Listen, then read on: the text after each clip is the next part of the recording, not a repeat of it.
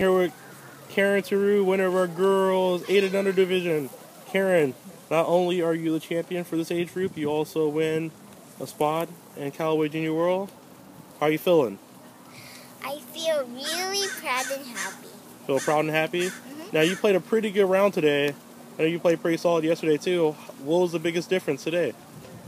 Um, I did a chipping on hole number, I think, 15.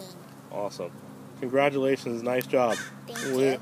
Are we going to see you out here soon? Hmm? Are we going to see you out again soon?